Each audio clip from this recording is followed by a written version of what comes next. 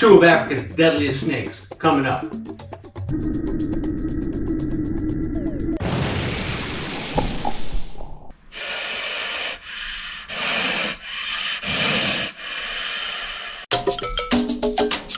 Subscribe now. Fangs in your face.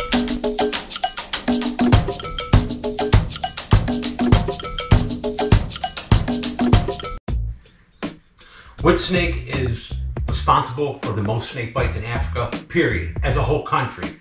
It's definitely the puff adder. I know everybody's gonna pull saw scale viper and the most deadliest is the black mamba, but we're gonna give you the breakdown on it and why and which snake actually causes the most damage coming up. What's up, Venom Squad? Hey, welcome to another episode. Hey, we're gonna hit on some points today about some of Africa's deadliest snakes. And we're gonna kind of mix it up a little bit with all of it. But um, hey, before we get started, I wanna thank my generous supporters over here. Thank you guys so much. Hey, just so everybody knows, we love the whole Venom Squad, and any kind of support you give us is greatly appreciated. If it's as simple as sharing our videos, it means a lot to us. So thank you guys so much from Venom Central. The shirts, guys. I, I couldn't be more happier how they came out. We didn't know how these shirts were gonna look with an actual photograph imprinted on them, but they came out spectacular. And we are so happy with them. We're going to do a whole series of these guys. And of course, the first one is the Gaboon Viper. And we picked this animal because it's because it's so colorful and it looks so cool on the shirt. And we picked all earth tone colors, guys, you know, to actually go with the animals. So get them while they're hot, guys. and uh, we're making them affordable. We want everybody to be able to afford them. Hey guys, thank you to the people who's already bought them. It, it, it, it's a great help. Today we're going to hit on some of African species, and of course the big bitters, the African heavyweights, the big monster gaboons and puff adders and rhino vipers and stuff like that. But to encompass this whole thing, this video really is going to be about number of bites, which snake causes the most damage. And of course, it is the puff adder. And I know a lot of people pull off internet sources, you know, oh, it's saw scale viper, this and that. You know, saw scale vipers are accountable for a lot of bites in northern Africa. Okay, that's northern Africa, more arid regions. But Central Africa and South Africa, it's puff adder. And the count of bites, the numbers outweigh outweigh the damn saw scale vipers significantly. So you got to understand it, it, it's a numbers game. And saw scale viper antivenom now, there is nine monovalent antivenoms available for saw scale vipers. And there's actually only a couple different polyvalent antivenoms available for your southern African species, like your gaboons and your puff adders and stuff. But we're gonna get into that. But anyways, guys, we're gonna bust out a couple snakes. We're gonna have a little fun. I'm gonna show you guys some cool animals and don't go nowhere because the end of the video, we're gonna feed some of the big bitties. The fangs in your face is coming. Okay, guys, to start out, we're going to talk about gaboon vipers and rhino vipers.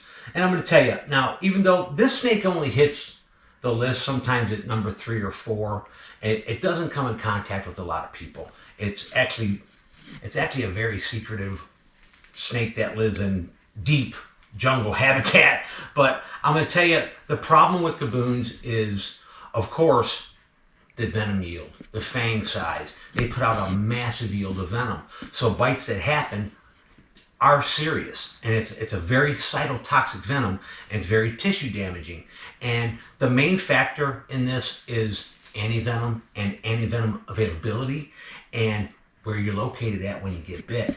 You know, the, the, the, the infrastructure of Africa, I don't quite understand. I know it's, it's, you know, a lot of the remote villages don't have refrigeration. They just don't have the capabilities to keep antivenom or to have a proper healthcare system. So, you know, bites are serious there. And to tell you the truth, like I've even conversed with some keepers. I mean, there's a lot of talented venomous keepers in South Africa that keep a lot of exotic species.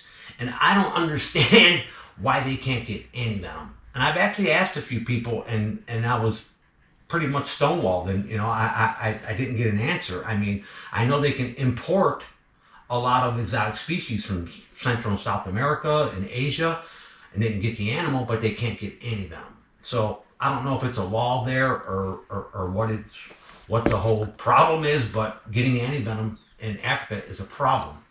So, regardless of the fact, the gaboons are pretty low on the list. They are a dangerous animal, but bites don't happen that often.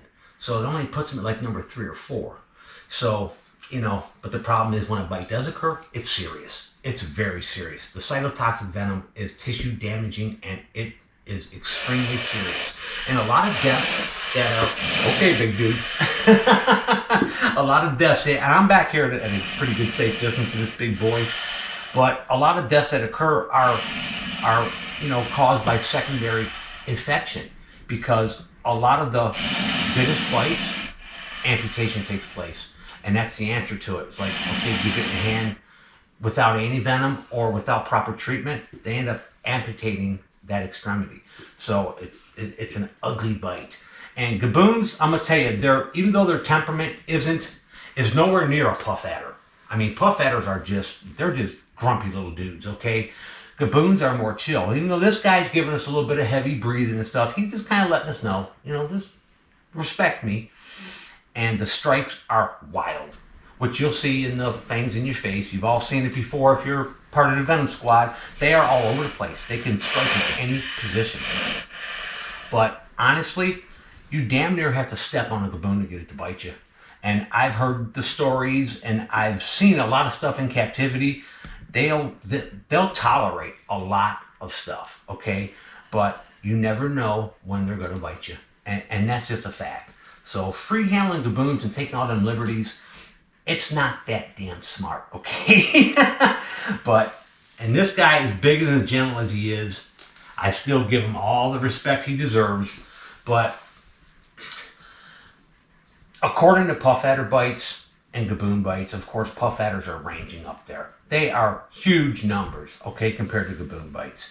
And for me, my look how long he is. for me, just on a keeper standpoint, working with gaboons and puffs, I see it firsthand. The whole, come here, big dude, where you going? You stay away from mama. The whole attitude thing is completely different. Puffs will only tolerate so much and they become very defensive. So that's one of the big reasons why puff bites are huge in numbers. I mean, they're a lazy snake and they're very cryptic, just like the gaboon. They're rarely seen and they'll sit in one spot for a long time and let you damn near step on them and they're gonna pop you. But gaboons don't come in contact with people too often. They are definitely a a, a, primary forest jungle snake. You know what I mean? So, but bites are serious and they need to be taken seriously. But this is a serious player on the list, guys. Okay, guys, the puff adder, the Bitis arietans. Now, this animal ranges throughout Africa. It's, it, it's we'll put a range map in. It's got a huge range, and this snake is definitely the animal responsible for the most snake bites in Africa. Now, I know a lot of people, and I mentioned this before, saw scale viper, deadly snake in Africa, causes the most deaths. And in actuality, the recent years, with the development of nine specific monovalent antivenoms, saw scale bites, and deaths attributed to saw scales has went significantly down. But I'm gonna tell you, if you guys want a good source for African snake bites and all that stuff, hit up the African Snakebite Institute. And I follow these guys, and I'll tell you, now these guys are there with their boots on the ground, okay? And they're trying to change things in Africa with the poor infrastructure and, and, and medical help and all that stuff in some of these really remote areas. They're trying to change things and actually teach people how how to identify, how to treat, how to, and actually how to even maybe extract venom and, and, and set up their own their own uh, institutes to to create revenue for some of these poor poor areas in, in, in Africa, you know. But the puff adder is accountable for the most bites, okay? Even though, say, the black mamba, okay? We all know the black mamba is, he's just drop dead dangerous, okay? And the venom is, he is definitely the most dangerous snake in Africa, bar none. But it's the number of bites, okay? Literally, say say if you were bitten by say if 100 people were bitten by a mamba right say in a year span probably i mean the statistics would be you know a great deal of fatality with them 100 bites because mambas are just that dangerous. It's probably more in the range of, you know, 80% death rate with a mamba, okay?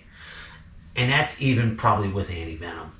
But the puff adder bites outweigh the mamba bites by thousands, okay? If a 100 people get bit by mambas, you better believe there's probably two to three thousand that have been bitten by puff adders because they're just that prolific, they're that abundant, and they're that grumpy that they don't take no mess, and they're gonna bite anything around them that moves.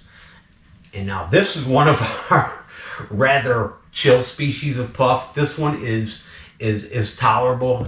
It's a big female. I can't do this with the males. They're all over the place, striking at me. They're they're just they're they're cheeky little guys, okay? But the puff adder is the guy that's responsible for the most damage.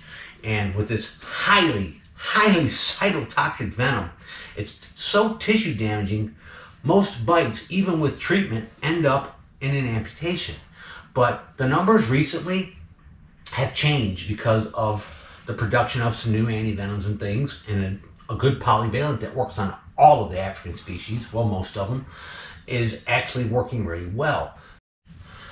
Okay, you know, the numbers with puff adder bites, it, of course, is a problem, the, the sheer mass of it. And even with treatment, with, with, with proper medical treatment and, and, and anti-serum and everything that's needed, um, the death rate is still at like 5% fatality. And that's with treatment. So that's serious, you know, to where, say, a mamba would be much, much higher, a black mamba, any of the mambas.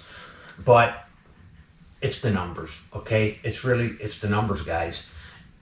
These guys outweigh the Mambas by thousands. But follow that Snakebite initiative. It's a great source for all this stuff. Um, and like I said, those guys are doing some awesome work. Check them out. So it's the numbers. This guy does the most damage. When it comes to Vipers, this is it. This is the end of the line. This guy does a lot of damage. But uh but anyways, I'm gonna put this guy back. Hey guys, don't go nowhere. Fangs in your face is coming. All right, guys, we're gonna start this party today with feeding some of the some of the puff adders, some of the big heavy hitters of Africa.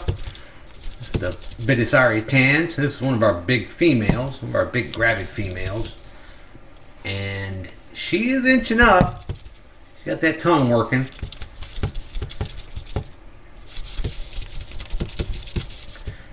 And this snake is extraordinarily patient. It'll wait till that rat is almost touching its nose before it goes goes ahead and explodes into a strike.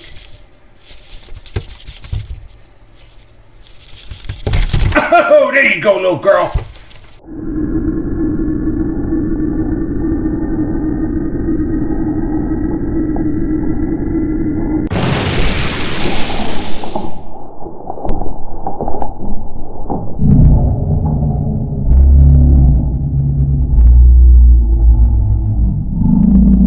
Atta girl. All right.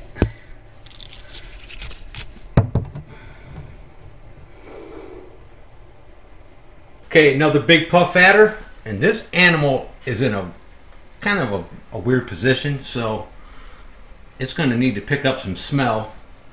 I'm trying to keep this one away from that male over there.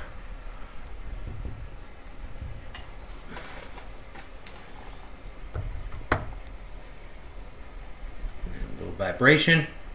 Oh, yeah!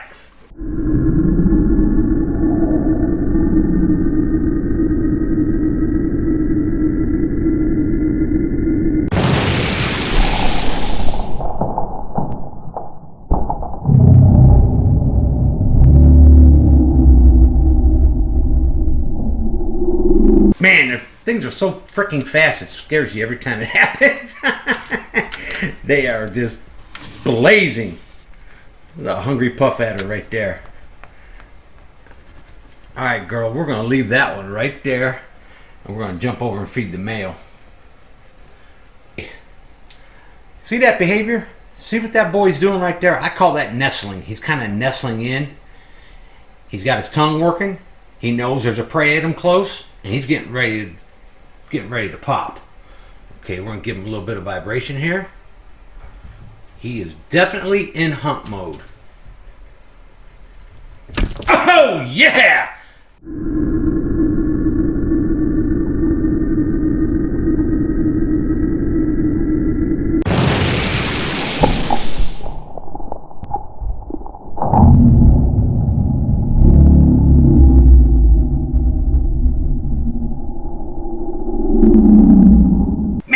That some bitch hard. I could feel at the end of the tongs. And this guy usually hits him and lets him go. He doesn't hang on too often. All right, buddy, we're gonna set that right there for you. Let's see where the fangs penetrated. A little bit of blood already starting to come out. That's that cytotoxic venom already taking effect on tissue. And look at it back here. That's just how far the fangs split open. Okay. All right, big guy. But he is a beautiful specimen. The males are prettier than the females in the puff adders. In this locale, anyways. Okay, and for our next heavy hitters on the list, of course, is the Gaboon Viper. Let's get this guy lined up correctly.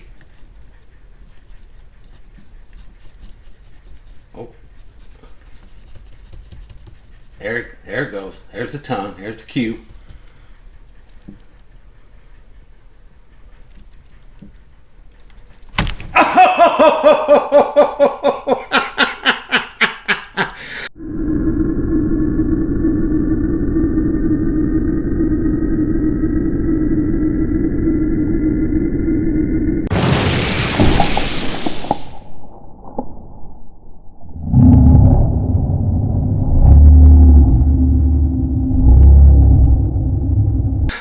my lord! Oh my word! that boy, that boy jumped sideways. That was so cool. and it's a little scary because he's getting big, you know, and you really got to be mindful of where you're at with this big son bitch. uh, that's a Bitis rhinoceros. big old gaboon viper. Let's go over there and feed his girlfriend now. Get in there, big boy. Look at this, y'all. Tell me if that's not a gaboon. It knows it's feeding time. Go ahead and pick up some smell there, little girl. Interesting to see what kind of strike she does on this. While she's already periscoped up like that, she needs to put herself in position.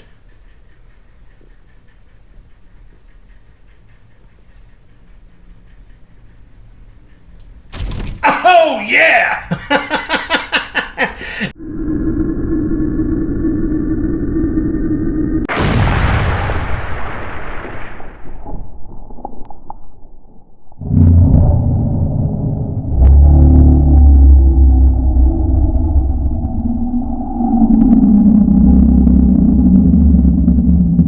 That was a good one.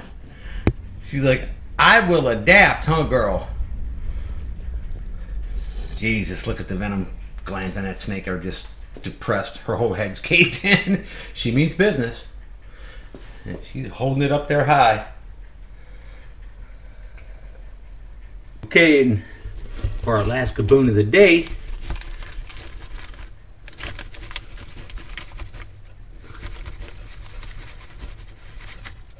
Oh, he knows there's something in there. There you go, buddy.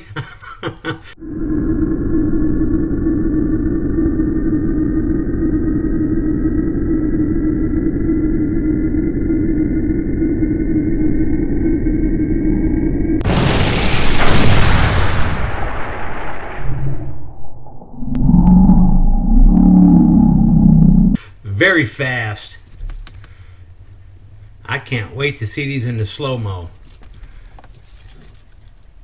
Had a good job, boy. Okay, guys. Next, we're going to do our little peewees, our little rhino vipers. Unfortunately, they're they're still they're still little youngsters, but just lately they have been hitting with ferocity that is just crazy. And look, this little guy's already this well, this little girl, she's already getting in position here.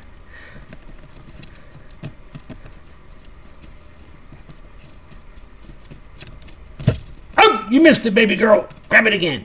Hit it. There you go. That a girl.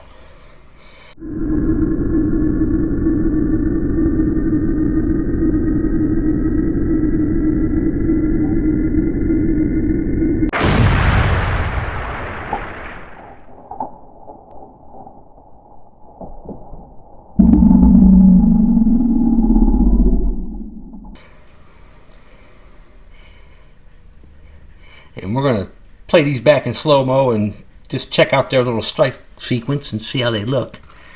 But this light that I use on this camera just washes everything out on this, this little mini setup we're using. But let's jump over and try another one. Okay, let's try this little male. Oh, yeah, he's already on target. He's in shed again. These things stay in constant shed because we're constantly growing. Look at that breathing just got labored. He's building energy. He's getting ready to pop. There you go, Bubba. That a good boy.